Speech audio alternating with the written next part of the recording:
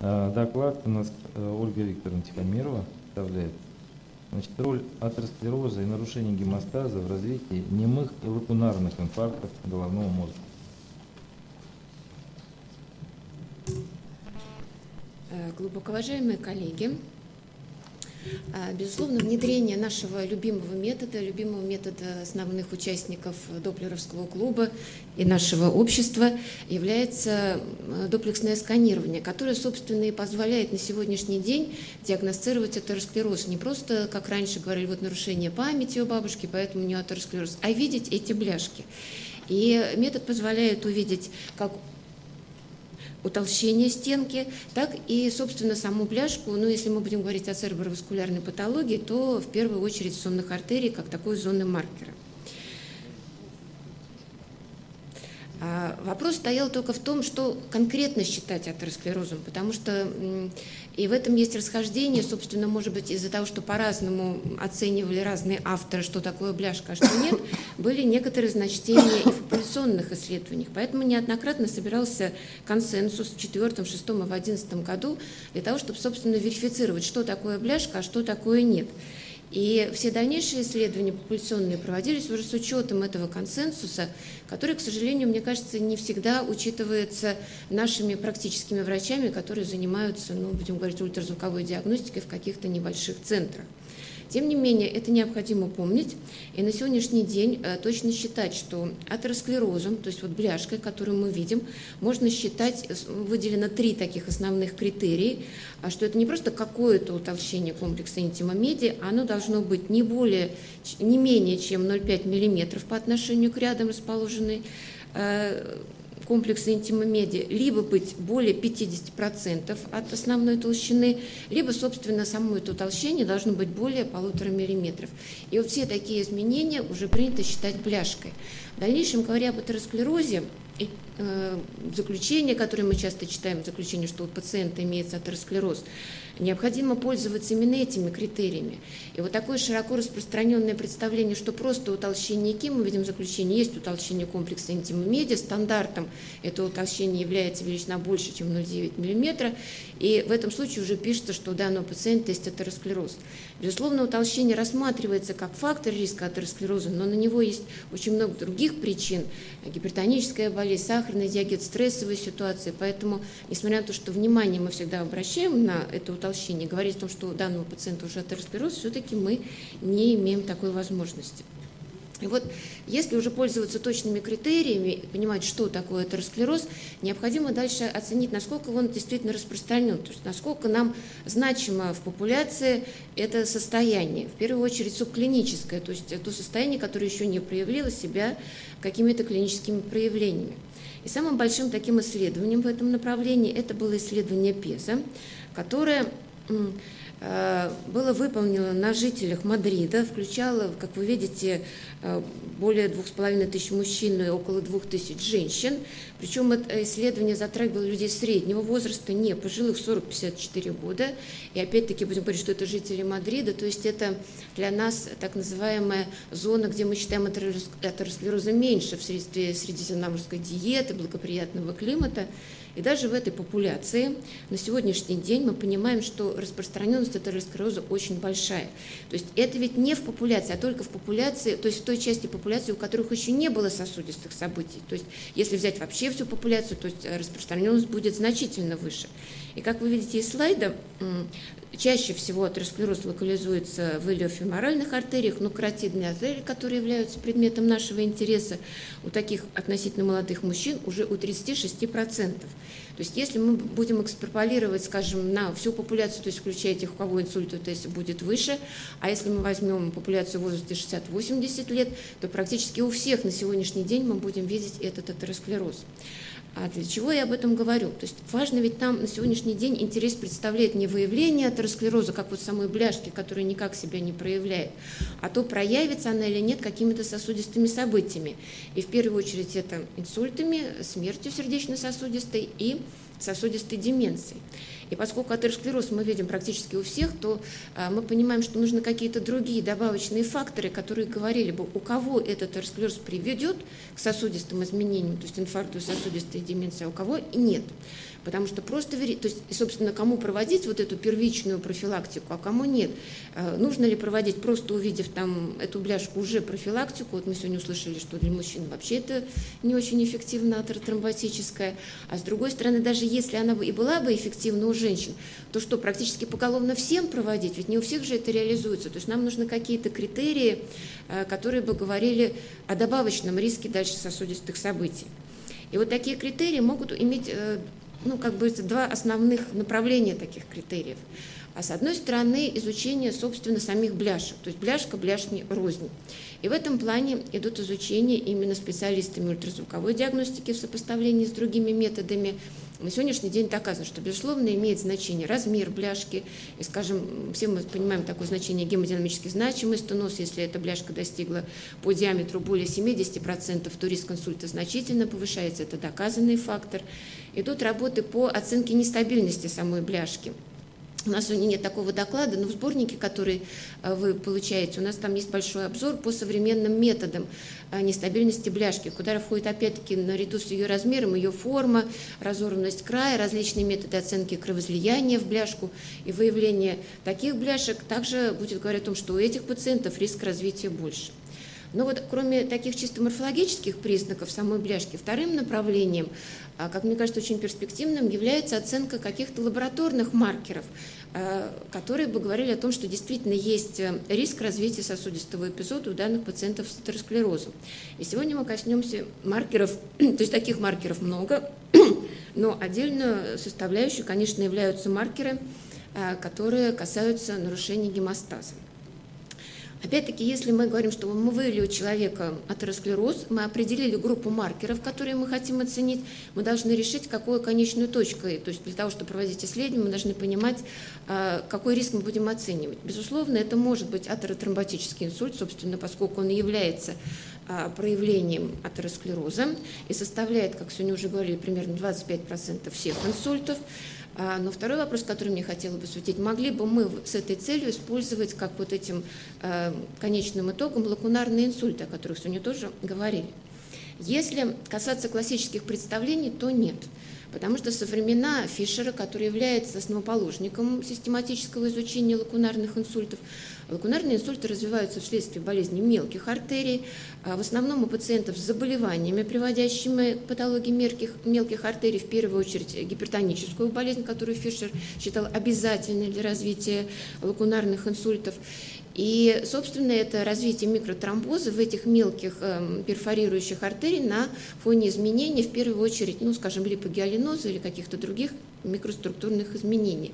Именно эти представления положены и в работающую до сих пор классификацию. То есть мы сегодня все должны поставить не только диагноз ишемический инсульт, но и определить его подтип кардиоэмболический, атеротромботический, лакунарный, ну или какие-то более редкие или неуточненные случаи.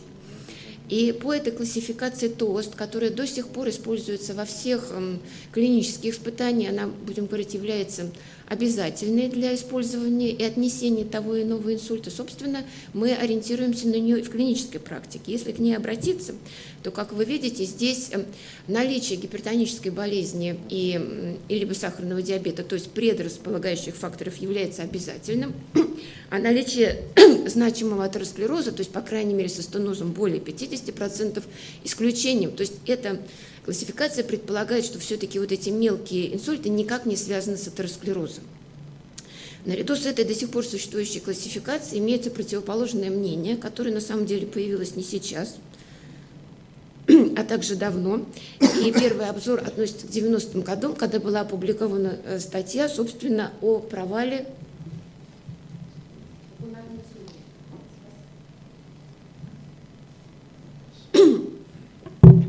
авторы этой статьи, и будем говорить последователи этого направления, а, говорят о том, что лакунарные инсульты достаточно часто развиваются у пациентов без гипертонической болезни. И чем больше мы исследований проводим, в отличие от тех аутопсийных материалов, которые приводил Фишер, тем больше мы таких доказательств имеем, что никакой гипертонической болезни нет, никакой сахарного диабета нет, а лакунарные инсульты развиваются. И на основании обзора данных и очень больших экспериментальных данных было показано, что, собственно, лакунарные инсульты могут быть с такой же вероятностью эмболическими, как кардиоэмболическими, так и, атер, так и эмболии из атеросклеротических бляшек. То есть, собственно, отличить дальше их, вот какой их генез, когда мы уже видим, практически невозможно. По крайней мере, морфологических признаков таких не существует. Поэтому, собственно, обоснование того, что мы можем, по крайней мере, исследовать лакунарные инсульты как результат и атеросклероза, изучать это направление, вот этими работами было положено. А, собственно, мы можем изучать не только лакунарные инсульты. Для нас ведь важно для того, чтобы э, проводить какие-то исследования, частота событий. Если лакунарные инсульты составляют примерно 20-25% всех ишемических инсультов, то кроме них у нас есть так называемые немые инсульты. А частота которых значительно больше. По сути, это та же окклюзия мелко перфорирующих артерий, только расположена в такой зоне, которая на данный момент не проявила себя клинически. Но по патокинезу они, в общем-то, не отличаются. Поэтому мы можем смотреть как конечные точки, оценивать вместе и лакунарные немые инсульты, как вот результат атеросклероза, если он действительно имеет значение для развития таких инсультов. А, тем более эта проблема очень важна, потому что вот э, пересматривается на сегодняшний день само название немой инсульт, и, собственно, консенсус определенных авторов в своей работе показал, что нужно давно заменить это название, потому что, в общем, они никакие не немые. Это только один или два таких э, мелкоточечных инсульта не привели к какой-то клинике, но в дальнейшем, если они будут повторяться, они у большого числа пациентов именно являются повторными, и потом их развивается большое количество, а посмертные аутопсийные современные данные говорят, что сотни таких инсультов немых у одного пациента, если они развиваются. В дальнейшем э, это в первую очередь приводит к тяжелой инвалидизации с развитием деменции, походки и других э, исполнительных функций. Поэтому эта проблема с точки зрения значения для здоровья и качества жизни пациентов очень важна. И распространенность этих немых инфарктов, она тоже очень велика, хотя если смотреть эпидемиологические данные, а, то очень большой разброс. А, вы видите, например, ну, среди пациентов с артериальной гипертензией такие немоинфаркты в каких-то данных 10%, в каких-то 60%. А разброс в первую очередь обусловлен тем, что при проведении этих исследований более ранних не было стандартизации, что конкретно считать немым инфарктом. Мы понимаем, что клиники нет. Собственно, критерии диагностики ставятся только по данным нейровизуализации. МРТ-критерии, а они были тоже достаточно различные. И, собственно, в данном слайде приведено сопоставление. На сегодняшний день основными критериями лакунарных и немых инфарктов является их э, гипер, ну, такие небольшие очаги размером не более 15 мм, которые на Т2 взвешенных изображений мы видим как гиперденсные очаги, а на Т1 как гиподенсные. Причем на Т1 они могут быть видны и не видны, поэтому Т2 последовательность является в данном случае основной но лучше всего они видны на последовательности с поглощением жидкости, то есть флайер или тирм по разным интерпретациям. И вот здесь уже идет расхождение. Поскольку инсульт называется лакунарный, то раньше считалось, что обязательно его трансформация идет э, в образование лакуны, которая видна э, на вот этом изображении флайер. Но на сегодняшний день показано, что далеко не все превращаются в лакуны, и поэтому может так и оставаться чисто гиперденсный очаг. А если брать различные исследования популяционные, то в одних считается первым способом, в других других. И уже одно это дает большое расхождение в частоте их визуаль, ну, как бы оценки. А кроме того, естественно, понятно, что само аппаратура магниторезонансной томографии, то есть мощность, сколько это, 0,2 Тесла, как мы начинали, или полтора, как сейчас наиболее часто употребляется, или 3 Тесла, или, например, 7 Тесла в научном исследовании, где таких очагов вообще видят в гораздо большем количестве. И э, необходима, в общем-то, стандартизация для того, чтобы изучать этот процесс. Тем более, что вот опять-таки уже на сегодняшний день показано, что небольшие субкортикальные инфаркты, которые в остром периоде инсульта на э, режимах с диффузией видны как гиперденсные очаги диаметром до 20 мм. Это уже введено в стандарт. Если раньше мы всегда считали, что только 15 мм, то теперь мы понимаем, что 20 мм – это зона одной перфорирующей артерии. А в конечном итоге они могут трансформироваться, как сохраняться в виде гиперденсного очага, так быть в виде лакун, так и вообще исчезать. Поэтому необходимо учитывать все возможные варианты, чтобы, собственно, считать их частоту, и тогда эта частота становится очень большой. И, собственно, вот пример пациентов, мы занимались именно такими исследованиями, подсчетом таких очагов во всех их вариантах сколько, и мы видим у пациентов э, громадное количество таких очагов, и считаем, что это действительно может быть таким маркером для того, чтобы оценивать риск. То есть если у этого пациента много таких очагов, то считать, что, собственно, привело к нему, и оценивать риски развития следующих очагов. А, возвращаясь к факторам риска лакунарных и немых инфарктов, и первым представлением о том, что только гипертоническая болезнь, ну и возраст это не исключается, являются основными факторами. Метаанализ, который недавно был опубликован в 2014 году, подтверждает это, что действительно, скажем, из 20 исследований, которые вошли в метаанализ, в 18 была показана четкая зависимость э, развития немых инфарктов от наличия артериальной гипертензии так же, как и возраст. Но в этом же анализе вы видите, что вот э, то, что мы сегодня обсуждаем, насколько вероятна связь атеросклероза с развитием немых лакунарных инфарктов, а метаанализ показал, что она такая же сильная, как и гипертоническая болезнь. То есть мы должны рассматривать атеросклероз, причем, еще раз повторю, в данном случае имеется атеросклероз не гемодинамически значимый стеноз, не стеноз более 50%, который необходим, там, скажем, для развития больших атеротромботических инфарктов, а сам факт наличия атеросклероза, который определялся с дуплесным методом, и, как правило, этот атеросклероз 20, стеноз составляет 20-30 всего процентов, но уже он является каким-то образом, э, не будем сейчас говорить, какой точный механизм, а, но тем не менее он эм, э, значительно значительно повышает риск развития лагунарных и немых инсультов. Собственно, мы вот и хотели в своем исследовании посмотреть, как связан этот атеросклероз с развитием немых инфарктов и какие лабораторные маркеры, в частном случае маркеры гемостаза, могут служить тем дополнительным критериям, которые э, будут говорить, что наличие атеросклероза вместе с этими маркерами будет приводить, э, увеличивать частоту развития немых лабораторных инсультов. Мы обследовали большую группу пациентов, но из нее выделили для данного анализа 77 мужчин в возрасте 45-80 лет, у которых была исключена вся кардиопатология, которая могла бы давать кардиоэмболические инсульты, а также прием антикоагулянтов, различие тяжелой соматической декомпенсированной патологии и наличие реальных острых нарушений мозгового, то есть фиксированных инсультов в анамнезе.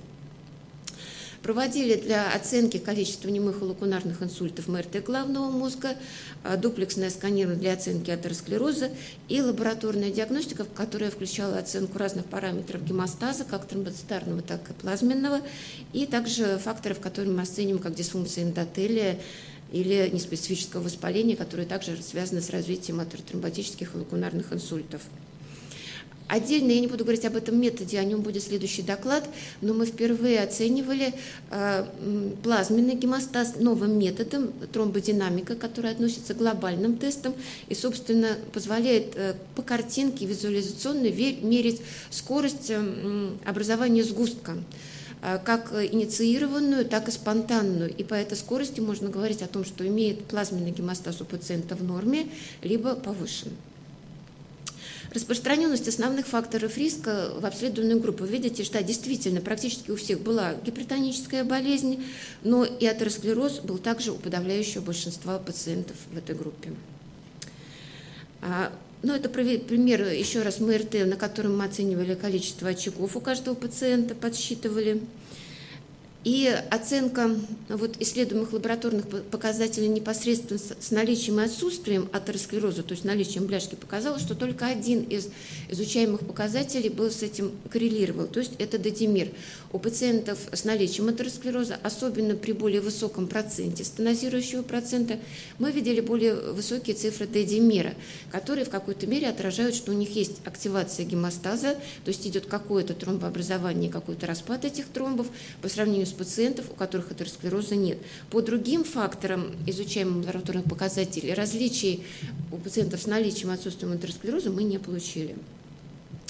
А при поставлении пациентов, у которых э, было небольшое количество пациентов, то есть здесь мы не включали пациентов, у которых полностью отсутствие немые лакунарные инсульты, хотя тут написано в цифре от нуля, но в данном исследовании мы уже исключили пациентов, у которых не было инсультов. То есть небольшое количество очагов глиоза 1,5, которые мы считаем, что так, это еще такой неактивный процесс, и пациентов, у которых более 5 Э, очагов, поделили на две группы и, собственно, сравнивали, чем они отличались по факторам риска, то есть оценивали факторы риска прогрессирования именно множественных лакунарных инсультов.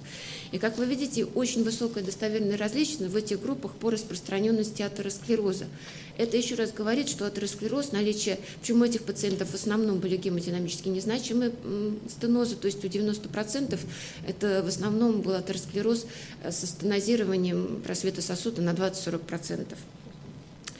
А, то есть еще раз мы говорим, что атеросклероз играет, видимо, роль на развитие таких инсультов. А при этом показатели а, вот уже в этом случае ни деэтимером, ни функции тромбоцитов, которые мы оценивали по П-селектину, ни по ни специфическому воспалению, которое мы оценивали по С-реактивному белку, мы не нашли. То есть эти факторы не звучали как прогностически неблагоприятные при сочетании с атеросклерозом, которые способствовали развитию множественного лакунарных и немых инсультов. Единственным таким показателем, который достоверно отличался, это была скорость образования сгустка, то есть нарушение плазменного гемостаза. Именно нарушение плазменного, а не тромбоцитарного гемостаза было преимущественно нарушено у пациентов с множественными лакунарными инсультами. А, в дальнейшем мы также выделили такие отдельные группы а, пациентов с наличием атеросклероза и немыми инфарктами в небольшом количестве, наличие атеросклероза и немыми инфарктами в большом количестве, и пациентов без атеросклероза и наличием немых инфарктов, таких, правда, пациентов было всего мало, 7 человек, но, тем не менее, мы выделили эту группу. И как вы видите, что э, у пациентов с множественными инфарктами и наличием атеросклероза, опять-таки, показатели именно плазменного гемостаза были достоверно хуже. То есть это еще раз может говорить о том, что сочетание атеросклероза с нарушениями плазменного гемостаза является тем провоцирующим фактором, который приводит к повторному развитию немых эвакунарных инсультов.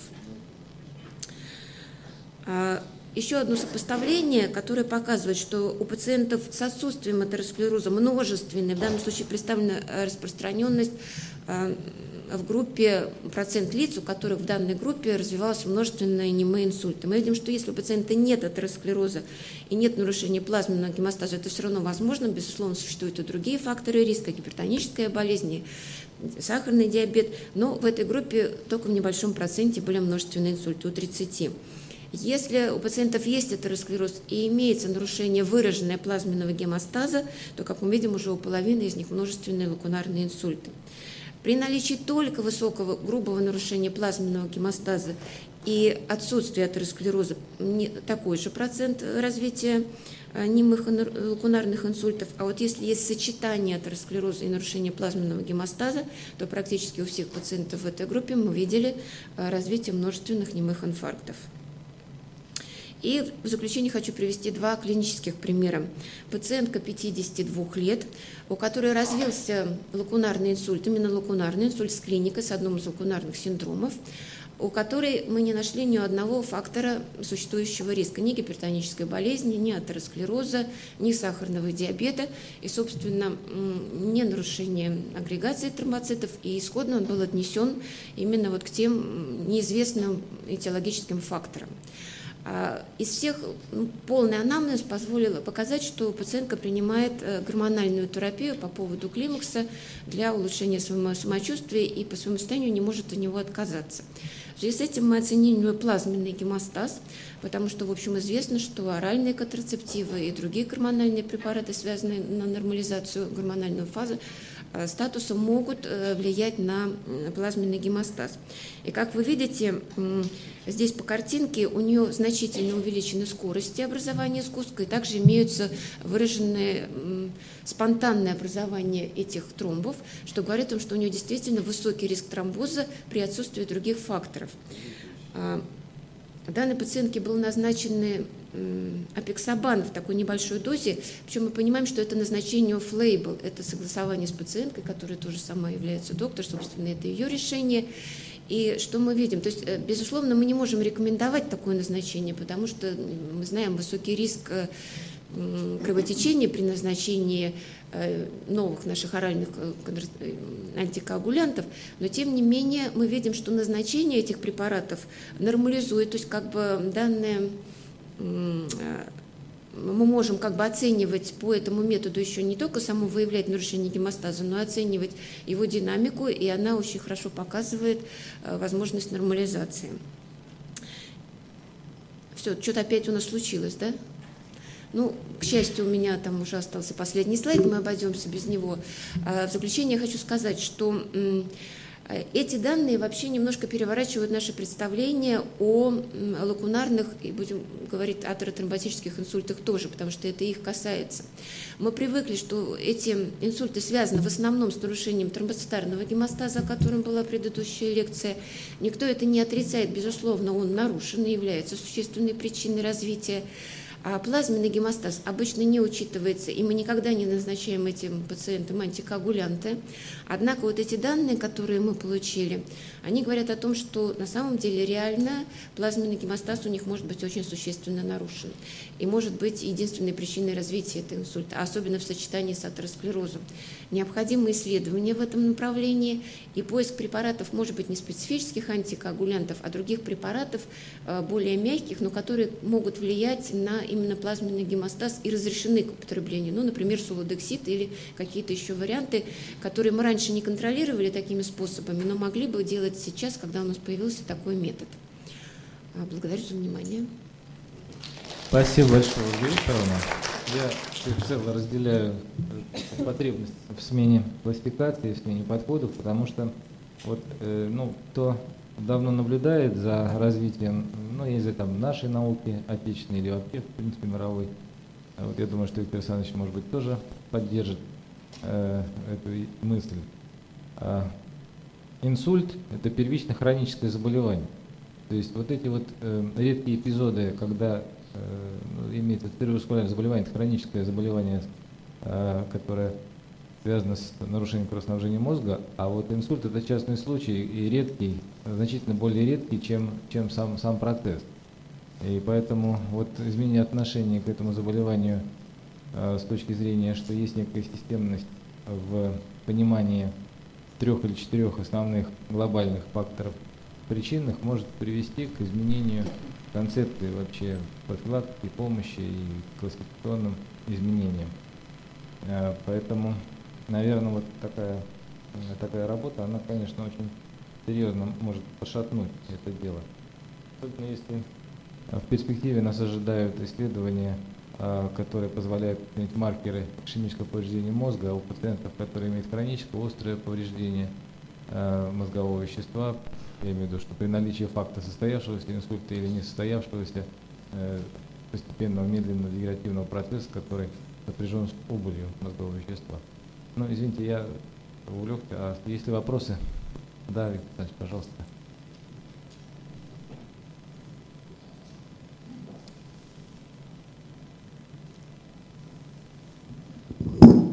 Ольга Викторовна, спасибо, это очень интересно. Я хочу в плане, пока все это свежо, кратенько сказать, что, во-первых, что, во-первых, мне кажется, что не стоит объединять в одно понятие или вместе употреблять немой инсульт и лакунарный инсульт, потому что немые инсульты, собственно, не относятся не к лакунарным только, это может быть относительно крупный очаг, который просто не дает клиники, и все. Там височная доля, например, это тоже будет немой инсульт, так что это разные немножечко понятия. Другое дело, лакуны симптомные или асимптомные, вот это уже, так сказать, ближе немножечко. Второе, мне кажется, что стоило бы в дальнейшем четко различать, это Э, локализация этих лакун. Значит, в принципе, одно дело, если она в корково-подкорковых областях преимущественно локализуется, то, что вроде бы считается типичным для артериальной гипертензии и так далее, все это хорошо известно, но мы довольно часто их видим из другой локализации. Это кора, ближнее белое вещество к корковым извилинам. И там уже механизмы другие, и я совершенно согласен, что здесь могут быть самые разные механизмы, в том числе и механизмы воспалительного генеза. И вот сейчас мы тоже на кафедре пытаемся этим делом заниматься. Вопрос, по-моему, который очень интересен, их довольно много, больше, чем мы думали раньше. И это стоит изучать. И третий может быть еще момент, о котором все-таки нельзя забывать, если вы говорите об атеросклерозе малом, об атеросклерозе, э, ну, о которая там 20-30% всего лишь и вроде бы не должна давать тяжелых тромбоэмболических осложнений, но хорошо известно, да, и такие бляшки, и тоже еще не очень понятно, с какой стати они будут попадать в эти эмболы в именно перфорирующие сосуды, что, в общем, труднее всего вроде бы туда забраться, то, в принципе, надо еще помнить о том, что выявлять методически очень сложно. Это интеркраниальный атеросклероз с пристеночной бляшечкой, которая ухудшает кровоток по перфорирующей артерии и создает лакуну такую же, чуть большую, не таких не в таком большом количестве, но это тоже, в общем, достаточно известная вещь. Так что тема, она очень сложная. Я согласен с Игорем Алексеевичем, что на этом пути можно прийти, в общем, к принципиально другим вариантам помощи больным. Так, спасибо. Да, Виктор Ильич, конечно, согласна со всеми вашими замечаниями. В отношении немых инсультов, а, хотя мы понимаем, что это может быть достаточно а, ну, обширной, но не имеющей клиники, но во всех популяционных исследованиях, которые я приводила, критериями все-таки относятся вот немые субкортикальные мел, мелкие инсульты. Они рассматриваются во всех этих работах. То есть, ну, будем говорить, не часть, а вот а, которые касаются окклюзии небольшой перфорирующей артерии. Что касается механизма, да, мы все понимаем, что атеросклероз в месте отхождения перфорирующей артерии, который мы никак не верифицируем, может быть причиной, но анализируется просто э, не то, что вот эта бляшка, которая в сонной артерии есть, и она обязательно дала эмбол, это просто как факт наличия атеросклероза, как текущего процесса, который может быть и в других местах, то есть просто его наличие как факт является фактором риска развития. А уж по какому механизму оттуда полетел эмбол, или это произошло параллельная бляшка отхождения, мы пока у нас нет таких методов. А, тем не менее, есть еще одно мнение, вот по экспериментальным данным, что действительно эмболы могут быть совершенно разных размеров, и почему он полетит в перфорирующую артерию, туда, конечно, долететь далеко, но просто если он очень маленький, все-таки закупорка происходит тогда, когда размер эмбола совпадает с размером сосуда. И если это крупный эмбол, то он долетает, скажем, для бифуркации сонной артерии на переднюю, среднюю, у нас тяжелый инсульт, или до бифуркации там М1, ну, М2 сегментов, да, а если он более мелкий или совсем очень маленькие такие вот тромбики, которые летают по всему циркуляторному руслу, то, в общем, они могут залететь куда угодно, поскольку туда, ну, это буквально может быть несколько там тромбоцитов. И вот экспериментальные данные, которые приводила вот эта работа, там, развал лакунарной теории, они, собственно, и приводят, что вот эти эмпулы, непонятно, может, как образовавшиеся при небольших бляшках, летят куда угодно и закупоривают именно перфорирующие артерии. Спасибо, Ольга Викторовна.